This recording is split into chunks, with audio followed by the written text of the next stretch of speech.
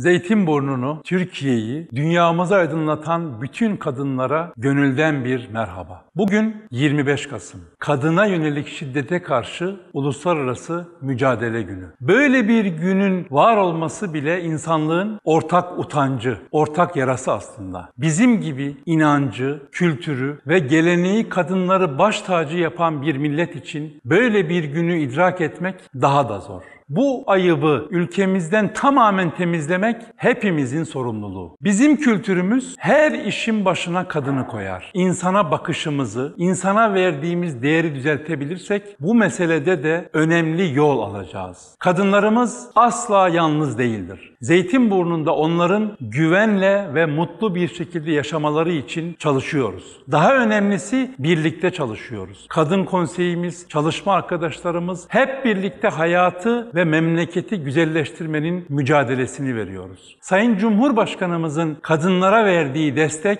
önlerindeki engelleri kaldırmak için yaptıkları bizim için büyük bir örneklik teşkil ediyor. Kadınlar hayatın her alanında güçlenmeye, daha fazla söz ve sorumluluk sahibi olmaya devam edecek. Bunu yaparken de devletimizin, hükümetimizin, bizlerin desteğini daima yanlarında hissedecekler. Kadınlara yönelik şiddet bir insanlık suçudur ve asla kabul edilemez. Bu inançla hep birlikte mücadeleye devam.